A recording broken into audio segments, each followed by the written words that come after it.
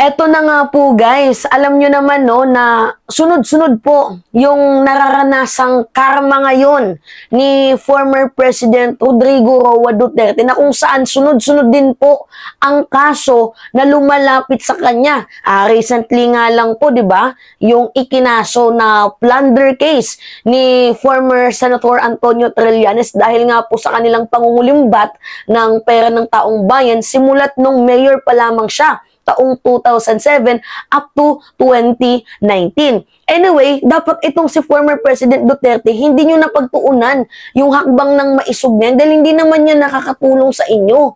Doon sa hakbang ng maisog, lagi kayong present. Samantalang pag pinapatawag kayo, katulad ng hearing sa AJK, lagi kayong absent, no show kayo, nagmamatigas kayo sa batas. Yung feeling nyo, kayo yung batas. Bakit hindi mo gayahin itong si uh, former Senator and Attorney Leila de Lima na kahit binraso nyo yung kaso, umapir pa din. Nagpakalalaki. Kahit hindi siya lalaki, nag-astang lalaki, nag-astang may bayag. Hinarap lahat ng accusation nyo kahit sinisira nyo ang reputasyon ni former Senator Leila de Lima. Sinira nyo yung kanyang pagkababae, sinira nyo yung kanyang pagkatao, nilagyan nyo siya ng sandamakmak na mali siya, uh, malicious prosecution, fabricated stories, fabricated crimes, pero lahat ng yun, sinipot niya lahat ng yun, hinarap niya. Lahat ng kinaso nyo, hinarap niya. Hanggang sa tuluyan na nga siyang nakulong, nanindigan siya.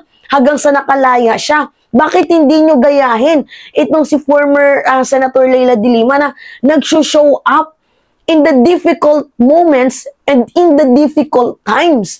Tapos kayo, ngayon na binabalikan kayo ng mga taong uh, ginawa nyo ng pagkakasala. Anyway guys, itong si ano ha, si Gordon, tama ba ako? Uh, may, may magpakaso kasi na former senator din, ukol din dito sa formally. Yung um, uh, tawag dito yung yung questionable pag-transfer ng um, uh, COVID funds dito nga sa PSDBM if I'm not mistaken si si Gordon ata. Pero anyway uh, madami po ang magkakaso dito kay former President Duterte. And sana makipag-cooperate itong si former uh, President Duterte. Dahil yung mga yung mga taong kinasuhan niya nakipag-cooperate din naman sa batas ah tapos ikaw, no-show ka. Akala ko ba matapang kayo?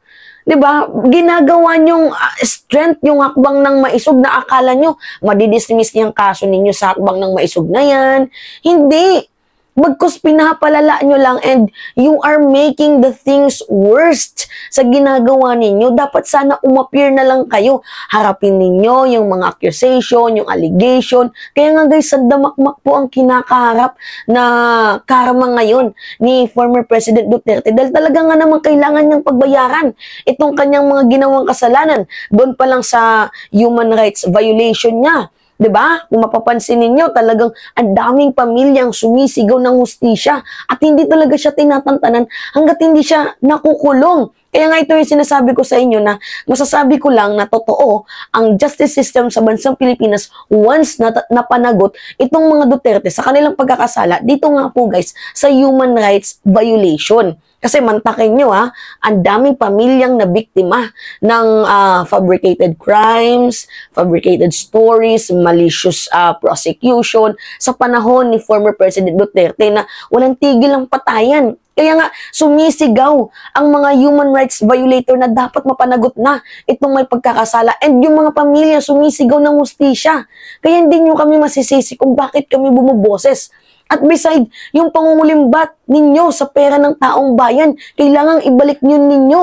Uh, itong si Trillanes, yung ginaso niyang plunder uh, case kay, kay former President Duterte, hindi lang itong basta-bastang accusation. Hindi katulad ni, ni Trillanes itong sila digong na nag-aakusa ng walang akusasyon, uh, ng walang ebidensya. Si Trillanes, sandamakmak yung papers na kung inilagay nyo sa sako, talagang literal na isang sako. Di ba map- ma- ma- mapapansin ninyo, yung kanyang mga papeles, talagang pinag-ipunan eh. Talagang ang dami pinag-aralan. Sandamakmak ang kapal.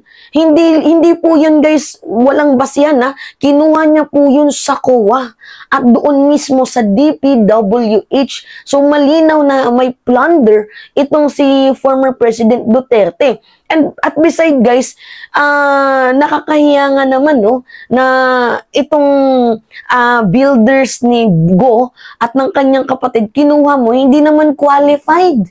'Di ba? Ang daming mga triple A company diyan.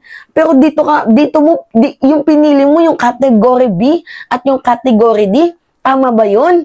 Ha? So, malinaw na may paglabag sa ating batas. Eh, pag napatunayan nga ni Trillanes na, na sobra 50 milyones ang nakulimbat nila former President Duterte, pasok na pasok po yun dito sa plunder law. Pero, sabi naman ni Trillanes, sobra pa nga yan eh. Hindi lang ata 50, baka umabot pa ng 60 to 70 yung mga humigit kumulang na nakulimbat. Dito nga po guys sa pakikinabang ng pamilya ni Go, si Go mismo, at ng uh, former president. So, kailangan dapat harapin ito, no?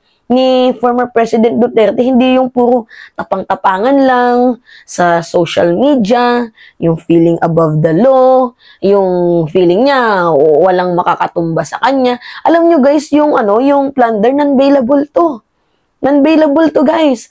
Mukhang parehas na nga sila ni Kibuloy. Parehas sila ng tadhana. Parehas sila ng kapalaran na mukhang magtatago na nga lang itong dalawang ito. ba kasi ganyan, ganun yung nangyayari eh. Sa AJK, uh, ah, no show.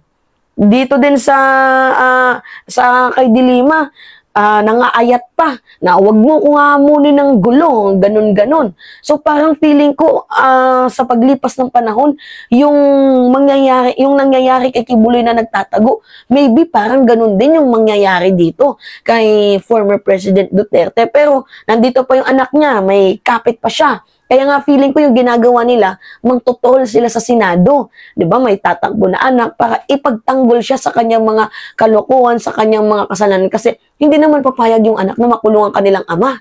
Kaya gagawa sila ng move para pasukin ang Senado, buwagin ang Senado, sirain ang Senado, sirain ang reputasyon ng Congress, sirain ang reputasyon ng administrasyon.